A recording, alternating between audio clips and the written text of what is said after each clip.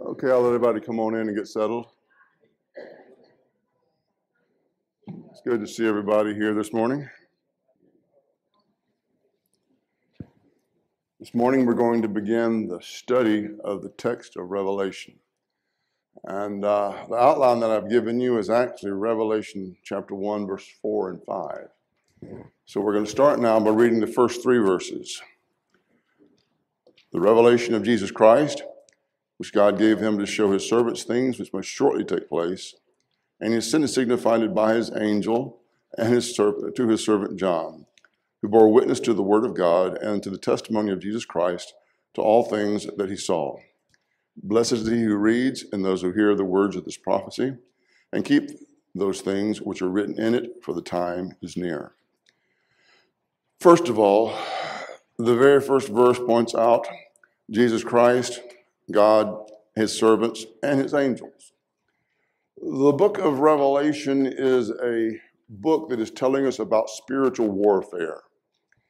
And on one side of the spiritual battle is God, Jesus Christ, Holy Spirit, the angels. And also in the physical realm, God's servants. On the other side of the spiritual battle is Satan, Satan's angels. And then you have the physical realm, those who are allied with Satan. And we're going to be seeing significantly in the book of Revelation, we're talking about the means through which Satan is going to make war against God's people, the church. So we're talking about the Roman Empire, the capital being Rome, uh, that was making war against the church. And then we're going to be talking about the sea beast and the land beast uh, the false religion through which Christians are going to be persecuted.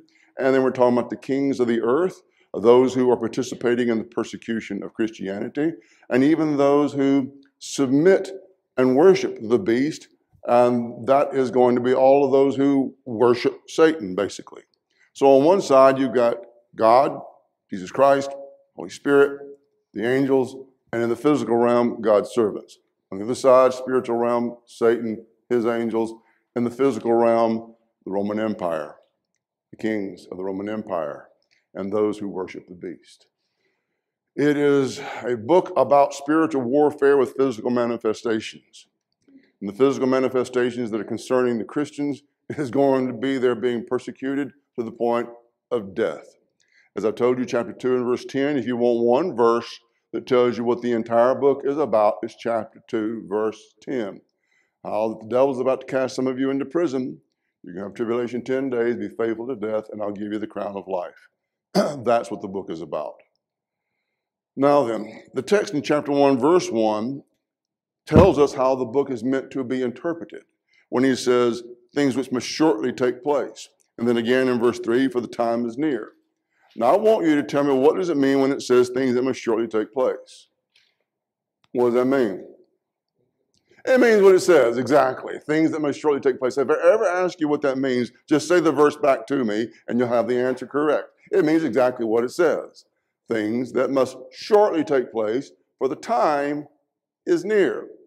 Now, the reason I'm emphasizing that is because you find the same thing said over in the 22nd chapter at the close of the book of Revelation, how it's things that must shortly take place and the time is at hand. And so the premillennial concept of the idea of it's taking place in our time right now doesn't fit because 2024 years is not near, not shortly taking place. The historical approach to the idea of the Roman Inquisition and the Reformation movement and the Restoration movement in, in Europe does not fit because, again, even if you take it as early as the 14 and 1500s, that, that's not near. 16 and 1800s is not near. It's not shortly taking place. The book of Revelation is dealing with things that were going to shortly take place that was near. And you're going to be even seeing as we go further in here in verse 9 how John talks about he was a companion in the tribulation. It was present active already. And John was already going through it. Uh, you're going to see in verse 2 a particular phrase, two phrases that are going to be used throughout the book of Revelation. It is the word of God and to the testimony of Jesus Christ. You're going to be seeing, for instance, when you drop down uh, to uh, verse 9, I, John, both your brother and companion the tribulation and kingdom and patience of Jesus Christ, was on the island that is called Patmos. Look at this for the word of God and for the testimony of Jesus Christ. And so Paul, so John, the, the, the, apostle, was taken as a prisoner. If you don't know, Patmos is a Roman prison island. Uh, think of Alcatraz, but much bigger and much further out in the ocean. Uh, it was a Roman prison island. Uh, and that is where John is located at the time that he received this revelation.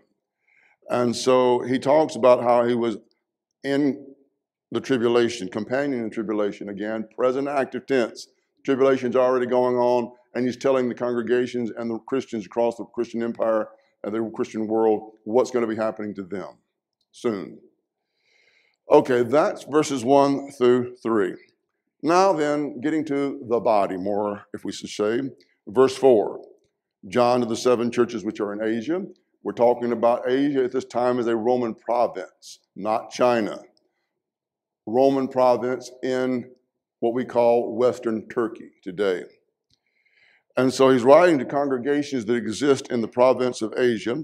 And he says, Grace to you and peace from him who is, who was, who is to come, and from the seven spirits which are before his throne, and from Jesus Christ, the faithful witness, the firstborn from the dead, and the ruler over the kings of the earth, to him who loved us and washed us from our sins in his blood, and has made us kings and priests to his God and Father. To him be glory and dominion forever and ever.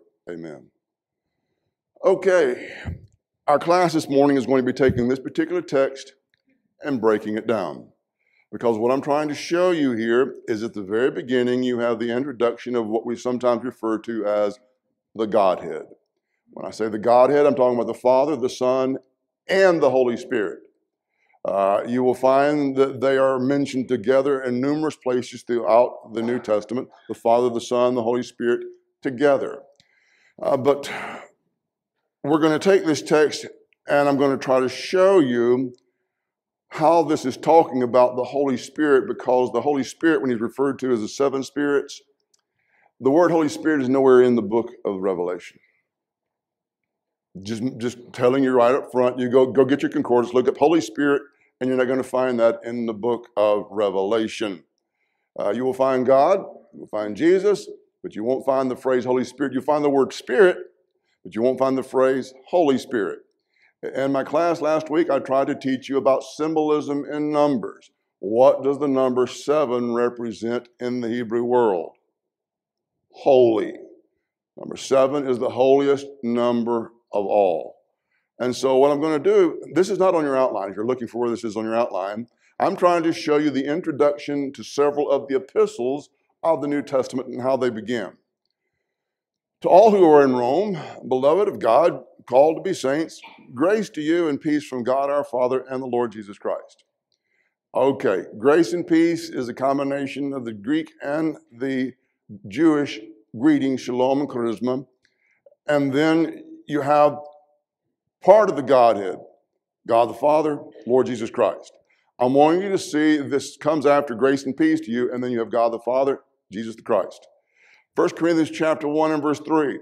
Grace to you and peace from God our Father and the Lord Jesus Christ. Are you already seeing the pattern? Grace and peace, and it's from God the Father and the Lord Jesus Christ. Holy Spirit's not mentioned. Ephesians chapter 1, verse 3. Grace to you and peace from God our Father, Lord Jesus Christ. By now, if you haven't seen the pattern, you're not paying attention. Uh, you have grace and peace from God the Father, Lord Jesus Christ, First Thessalonians chapter 1, I believe First Thessalonians is the first revelation received through the Apostle Paul that he penned and wrote to the congregation in Thessalonica. Paul, Silvanus, and Timothy to the church of the Thessalonians in God the Father and the Lord Jesus Christ.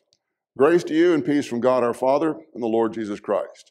Are you noticing that's exactly the same thing you find over the Galatian letter? And by the way, these are written at different times over Paul, Peter, John's, over, over different times in their life. All I'm trying to show you is a common pattern at the beginning of the letters whenever they're having basically the greetings. This is from Peter now, 2 Peter chapter 1, verse 2. Grace and peace be multiplied to you in the knowledge of God and of Jesus our Lord. So there's the grace and peace, God, Jesus our Lord. 2 John verse 3. Grace, mercy, and peace will be to you from God the Father and from the Lord Jesus Christ, the Son of the Father, in truth and in love. Okay, so you see Peter, Paul, John, whenever they're writing, they use grace and peace, and it's from God the Father and the Lord Jesus Christ. Now, then, go back, if you will, to Revelation 1 and verse 4. John to the seven churches which are in Asia, grace to you and peace. See that right there? Grace to you and peace. Right after that, in the other epistles comes who? God the Father, the Lord Jesus Christ.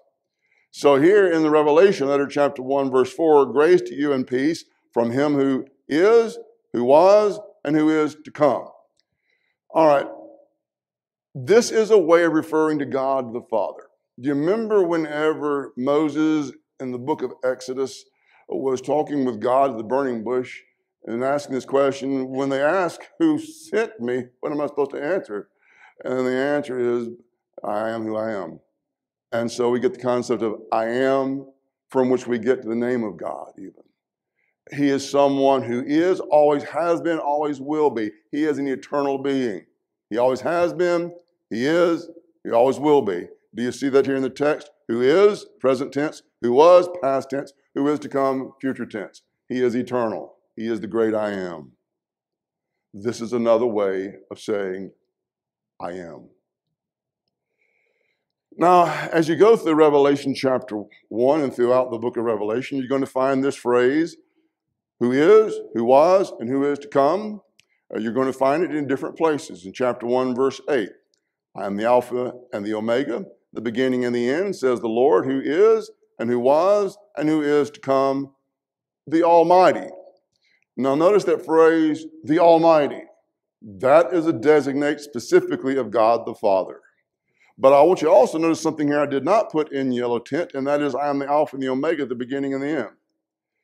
Uh, we talked about this last week in our triplication study. You remember how he talks about how I'm the Alpha, the Omega, the beginning and the end, the first and the last, where he's saying the same thing three different ways. The idea is everything that was brought into existence was brought into existence by God the Father, and God the Father is going to be the one that's going to take everything that exists out of existence in the end. He's the beginning, He's the end. The same phrases are going to be used later on applied to Jesus. Let that sink in. The phrases right here applied to God Almighty, the Father, are later on going to be used applies to Jesus. Because was Jesus involved in creation? Yes. Is he going to be involved in taking creation out? Yes. And, and so you're going to be finding just as God the Father is God, so is Jesus, I'm going to refer to him now as the Lamb. Because you're going to be seeing as we go through the book of Revelation, one of the main ways Jesus is going to be referred to, especially in chapter 5 and following, is worthy is the Lamb, the Lamb of God that takes away the sins of the world. But right now, I'm just wanting you to see two things Alpha and the Omega, and the beginning and the end goes to God the Father. Almighty goes to God the Father, and He's also called here who is, who was, who is to come again, the great I am. Now, chapter 4. Chapter 4, if you don't know in the book of Revelation, is the chapter that focuses in primarily on God on, on his throne. The whole fourth chapter is about God on his throne. And um, th- this is significant. In what is depicted in the fourth chapter, which you'll find, by the way, the same thing in Ezekiel, part of it also the same concept in Isaiah 6. But in Revelation 4, you have God on his throne, surrounded by the four living creatures, which are cherubim, if you don't know. And then outside that are the 24 thrones and the 24 elders.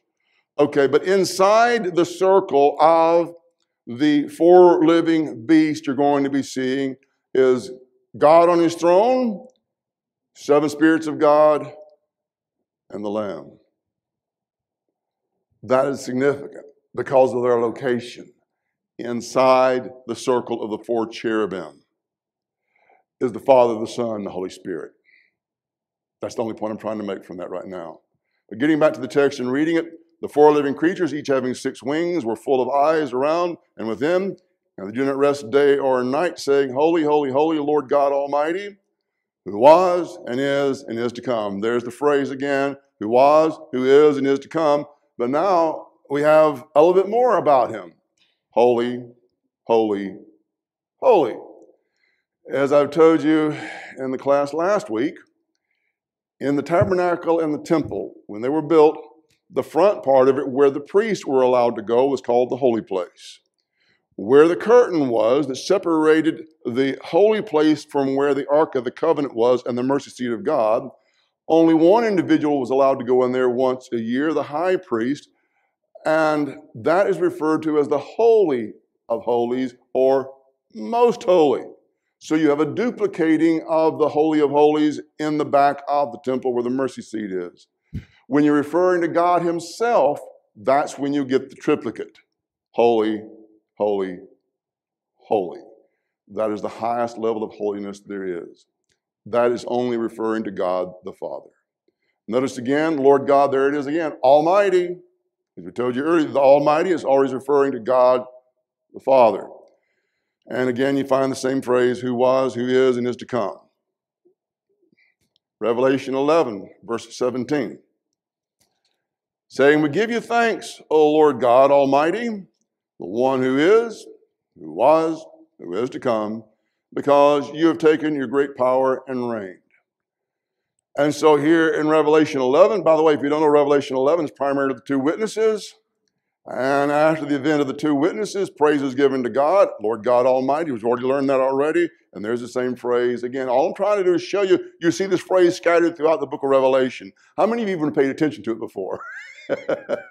okay, I'm trying to bring your attention to it and what it is saying and what it is and how it is scattered throughout the book of Revelation. Revelation 16, verse 5. Context talking about harlot, the great harlot Babylon. And I heard the angel of the water saying, You are righteous, O Lord, the one who is, who was, who is to come, because you have judged these things.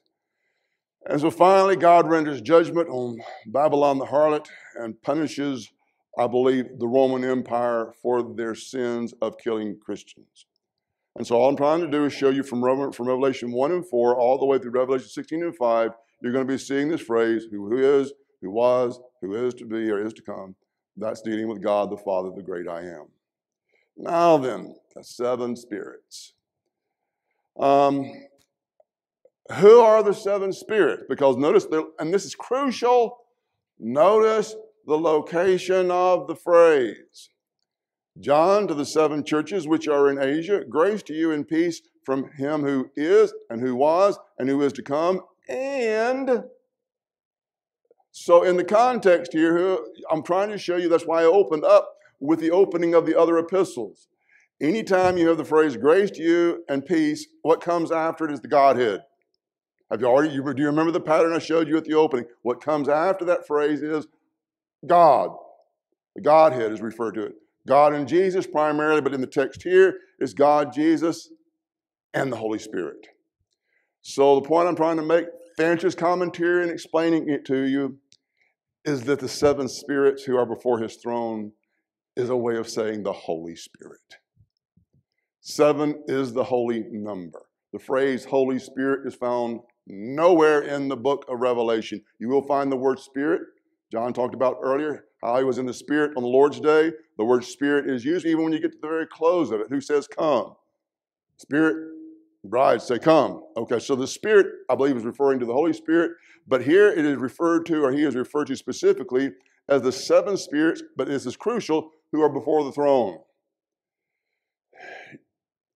Their location in the text and their location in the vision are crucial to understand who it is. Later on, we're going to be seeing how the seven spirits are on the head of the Lamb. and so there's a connection between the Lamb, who is Jesus Christ, and the seven spirits.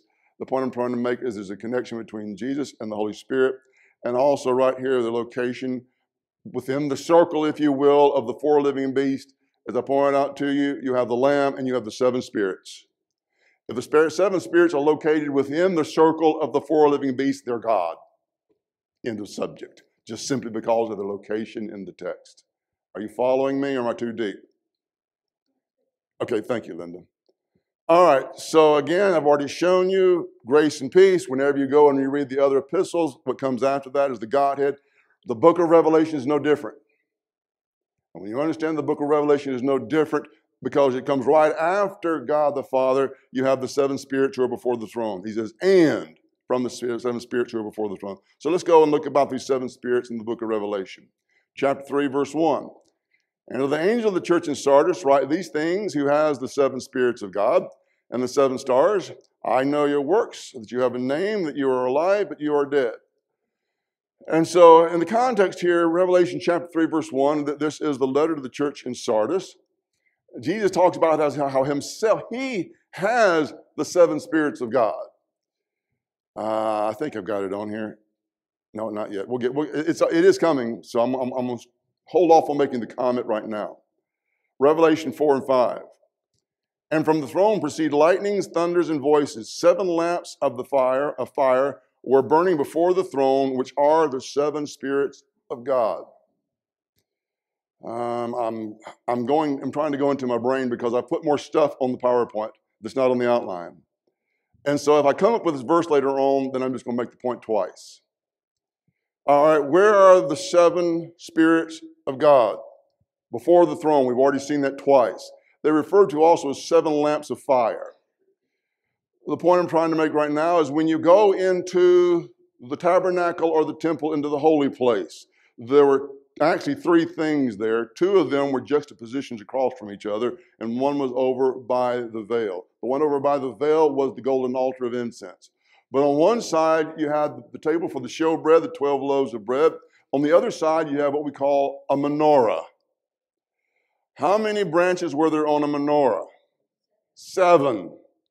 The point I'm trying to make is in the tabernacle, in the temple, the Ark of the Covenant with the mercy seat represents God on his throne in heaven. On the other side, you have the 12 loaves of bread, which I believe represents Christ, who is the bread of life. And on the other side, you've got the menorah, which I believe represents the Holy Spirit. Too deep? Makes sense. Good. Okay. So the point I'm trying to make here again, before the throne of God, you have the seven spirits of God, which he calls the seven lamps of fire. The seven lamps of fire, I believe, is going back to the menorah and the tabernacle and the temple. And again, the point I'm trying to make is if that's the case, then the seven spirits of God is another way of saying the Holy Spirit. Location is crucial, and connection to Jesus is crucial. Revelation 5. If you know this, Revelation 4 is about God and his throne. Revelation 5 is about the Lamb, Jesus the Christ. The primary characters in the book of Revelation are God and Jesus. Just make no mistake about that. The primary characters in the book of Revelation are God and Jesus. The fifth chapter is the introduction primarily of Jesus as the Lamb. He's already been introduced the very first verse, and he's already been introduced the first chapter in the greeting. But here in the fifth chapter is where he's introduced as the Lamb. And I looked, and behold, in the midst of the throne and of the four living creatures, and in the midst of the elders stood a lamb as though it had been slain, having seven horns and seven eyes, which are the seven spirits of God sent out into all the earth. Okay, the lamb, again, is in the midst of the throne. So, right up by the throne is this lamb. The lamb of God that takes away the sins of the world. This is why he's referred to, I believe, as the lamb. But notice what it says about the lamb. The lamb has seven eyes, which are the seven spirits. What do eyes do? See, the idea, I believe, of the seven eyes, the Holy Spirit through which Jesus sees, through which God sees, the idea is the Holy Spirit is sent out and is seeing and knowing everything that's going on in the world. The omniscience of God. Now then, having said that, this is not on your outline. I didn't want to give you a three page outline. I'm just, that's just silly, I know. But so if you're taking notes, you might want to write this over in the side. I was trying to show you the connection here between Jesus and the Holy Spirit because we've already seen there's a connection there in the book of Revelation between Jesus and the Holy Spirit. How this, the uh, Jesus says in Revelation 3 and 1, he who has the seven spirits of God and the seven stars. The seven spirits are in the hand of Christ, He's in control of them. And the Holy Spirit is the one that the Lamb is on, uh, the connection between the concept of even them being on the head of the Lamb. There's a very strong connection between the Holy Spirit and Jesus. You find in, Revel- in John chapter 16, verse 7. Nevertheless, I tell you the truth, it is to your advantage that I go away, for if I do not go away, the Helper will not come to you, but if I depart, I will send him to you. And then in verse 12 and 13, the same chapter. I still have many things to say to you, but you cannot bear them now. However, when he, the Spirit of truth, has come, he will guide you into all truth. Now, this is crucial. And he will not speak of his own authority, but whatever he hears, he will speak, and he will tell you things to come. Okay, this is crucial to understanding the role of the Holy Spirit in the Godhead in our salvation. All revelation begins with God the Father. And then it goes from God the Father through the mediator, Jesus Christ. And from the mediator to who? The Holy Spirit. If you can understand that, then you can understand what we've been reading in the book of Revelation.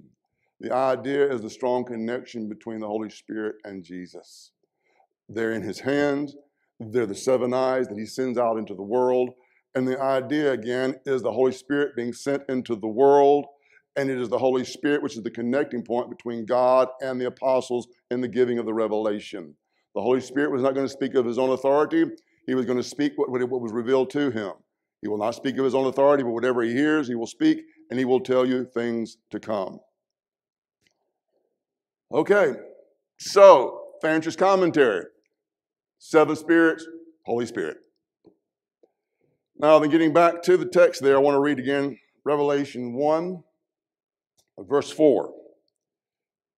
John, to the seven churches which are in Asia, grace to you and peace from him who is, who was, who is to come, and from the seven spirits who are before his throne. Look at verse 5 and from Jesus Christ.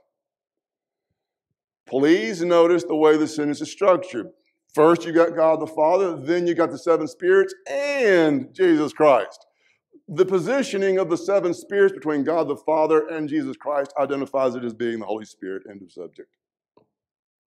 I mean, that, that just nails it down right there because you have the grace and the truth, then you've got the Father, and you got the seven spirits, and you got Jesus. The positioning of the seven spirits between God the Father and Jesus, again, is to nail down who is being, who's being talked about here. It's the Holy Spirit, which is not really that difficult to figure out, seven being the holy number. Okay, but now let's talk about Jesus Christ. Notice the things that are said about him. And from Jesus Christ, this is verse 5 the faithful witness, the firstborn from the dead, the ruler over the kings of the earth, to him who loved us and washed us from our sins in his own blood. You're going to be finding these particular phrases are going to be scattered through the book of Revelation in connection to Jesus the Christ, the Lamb. The first one I want to look at with you is the concept of the faithful witness. Revelation 3 and verse 4 in the letter to the church of the Laodiceans, he says, And to the angel of the church of the Laodiceans write, These things says the Amen, the faithful and true witness, the beginning of the creation of God. Okay. True witness to what? The truth is that's the best way to put it, Randy. The truth. Jesus came to bear witness to the truth. Do you remember what he said to Pilate? When Pilate was asking him, Are you a king? For this reason he came into the world was to bear witness to the truth. He came to tell us the truth about God, the truth about himself, the truth about ourselves, the truth about heaven and hell, the truth about how to have your sins forgiven and avoid hell and go to heaven. He came to tell us the truth about how to live. But that whenever he was being questioned by Pilate, did Jesus never answer his questions at all? No, he actually did answer. He actually did answer some of his questions. When Jesus was before the Sanhedrin, though, before he even came before Pilate, and the high priest says, I adjourn you by the living God, are you the Christ, the Son of the Blessed? What did he say? I am. Jesus told the truth about who he was. He is and was the faithful and true witness about God, about who He is. He never lied, ever, about any subject He spoke about. So He is the faithful witness, the faithful and true witness. Getting back to the phrase, Jesus the Christ, the firstborn from the dead. Okay, there's two things in this particular phrase. One of them has to do with terminologies connected to family. In the ancient Hebrew world, in the family unit, first came the father. Who came second? The son. Which son? Firstborn son. The firstborn son has preeminence in the family with only one individual above him who is the father. There's a second thing here. Not only is Jesus having preeminence as firstborn in the family of God, he also is the firstborn from the dead. That is the idea of the resurrection to eternal life. You're going to be seeing this referred to again, but right now let's go back, and before we get to Revelation, to Colossians 1 and verse 18. He is the head of the body, the church, who is the beginning, the firstborn from the dead, that in all things he may have the preeminence. And so, who is from the beginning, the firstborn from the dead, is a phrase referring to, look at the close of this verse, preeminence. Preeminence. In the beginning was the Word. Everything was created through Him. He was there in the beginning. But He's also the firstborn, key phrase, from the dead. He's the firstborn from the dead and the firstborn being there's going to be others coming after him, but he's the first one to die, never and die and rise to never die again. That's crucial. There were people that were raised from the dead before Jesus, but they died again. They did not receive the spiritual body. They rose and died in their original body and stayed dead after they died, after they were raised from the dead. Lazarus, okay? Jesus died, rose from the dead, never to die again. He's the first fruits. He's the firstborn from the dead. And so that phrase is referring to a position of preeminence in the universe. There's God the Father, and behind God the Father is the Son, the firstborn Son, the firstborn from the dead. Now going to Revelation 1 and 18. I am he who lives and was dead, and behold, I am alive forevermore. Amen. And I have the keys of Hades and death. How much time do I have? I got about 10 minutes. I've got to figure out how much I'm going to talk about some of these verses. Because this is a good one. Okay. I am he who lives. He's alive right now. He was dead, but he's alive how long? Forevermore. This is why he's the first begotten, firstborn from the dead. Because his resurrection after he rose from the dead was never to die again. And when he says, I have the keys to Hades and death, Hebrews talks about this in the second chapter. How he had to come in the form of flesh and blood like we are. He had to die and rise from the dead in order to conquer death and the one who had the power over death, who is who? Satan. And then free us from bondage to Satan, sin, and death. And so the fact that he has the keys to Hades and death, what do keys do? They open. Okay, you remember what, what, what Jesus said to Peter in Matthew 16? Upon this rock I will build my church, and the gates of Hades shall not prevail against it. The whole idea is Jesus has control and power over death and Hades now. And the reason there's going to be a resurrection is because he rose from the dead never to die again. And so, in the context here, when you talk about Jesus Christ, the firstborn from the dead, he's talking about his preeminence and the fact that he was the first one to rise from the dead, never to die again. Revelation 2 and 8. And to the angel of the church in Smyrna write these things, says the first and the last, he who was dead and came to life. So here again, he's referring to the fact he was dead, he came back to life. But notice now the connection here, the first and the last. Remember, I told you earlier in the very opening, you find those phrases connected to God the Father. Now you're going to be seeing as you go throughout the book of Revelation connected to Jesus as well. The writings of John are some of the best texts in the entire New Testament to help us understand the nature of Jesus the Christ.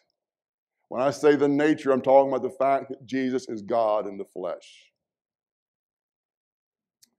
Okay, Revelation chapter 2, 26 to 27. Put yourself back in the shoes of those who are going through the persecution. Do you believe Jesus is the Christ at the right hand of God, having all authority in heaven and on earth? Yeah, I do. I believe that. Then how on earth is it that his people are being allowed to be killed if he's the king?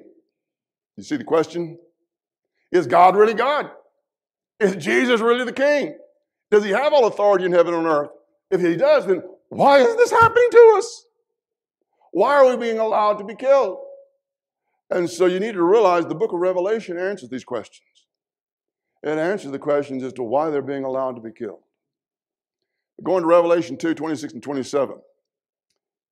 And he who overcomes and keeps my works until the end, to him I will give power over the nations. And he shall rule them with a rod of iron. They shall be dashed to pieces like the potter's vessel. Notice this phrase, as I also have received from my Father. Okay, th- this is the closing of the second chapter. This is one of those phrases, one of those sections that's talking about those that overcome. Jesus has already received from the Father the power over the nations. He does have all authority in heaven and on earth. He is the king of this world. This is his world, and he's the king of it. But he's talking here about those who overcome are going to be allowed to share in that reign with him. So, what do we do on this side? We serve God. What do we do on the other side? We serve God. yeah, that's it. We serve God. Now, we serve God then. And so, those who are going to die for their faith, we're going to be allowed the honor of reigning with Christ. He says the same thing again in the third chapter, in the close of the third chapter. He just says it a different way. Verse 21 To him who overcomes, I will grant to sit with me on my throne, as I also overcame and sat down with my Father on his throne. Jesus has already overcome. He's already sat down with his Father on his throne. He's already at the right hand of God right now, right now. And those who overcome, he's going to grant to sit on thrones with him. Do you remember what the 20th chapter is about? Do I have it on the outline? On the 20th chapter of Revelation? Okay.